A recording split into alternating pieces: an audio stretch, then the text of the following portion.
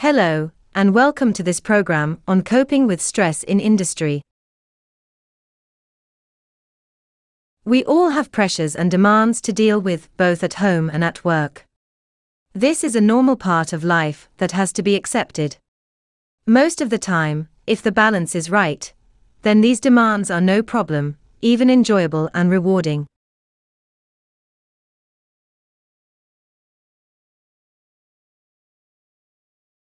However, there may be times when the pressures become troublesome and exceed our ability to cope.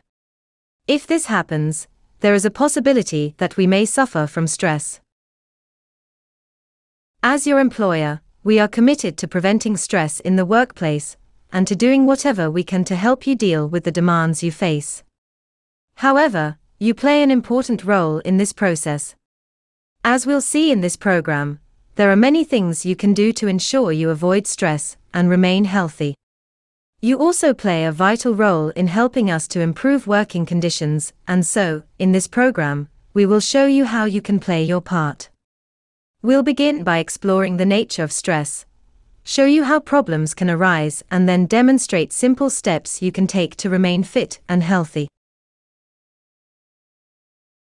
And so, in this program, we will explore the facts about stress, the health effects of stress, and how problems can arise.